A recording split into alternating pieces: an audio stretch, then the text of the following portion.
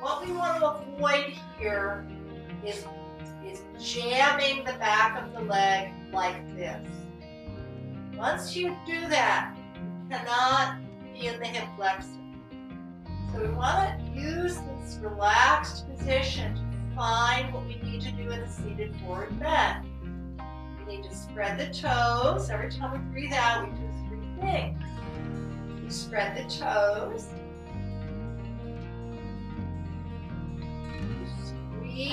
Belt in the groin.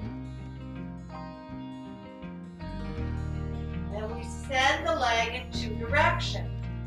Down to the earth with the thigh and up from the back of the knee into the toes. It's not yank yank, right? Spine relaxes on the floor.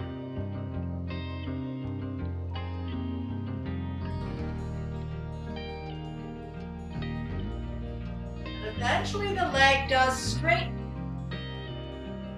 But it's only because of this window effect in the back of the knee. And this is for every forward bend in yoga. So if you learn this, it really relaxes that lower back into the floor, right?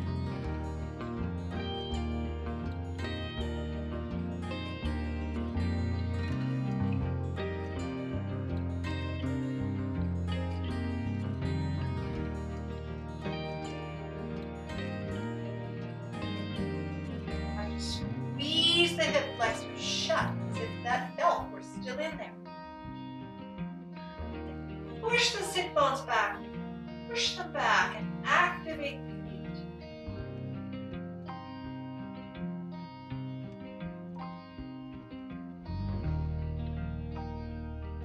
Enough to bring the heart with. Now the heart wants to hold back.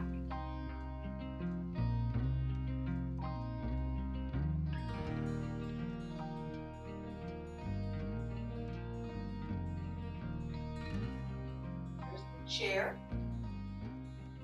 There's the fork.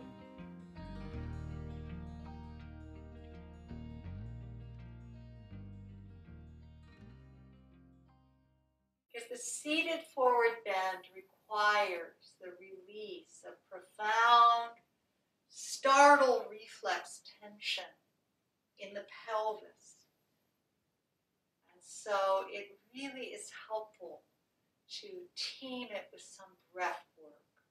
Really relaxing, organic.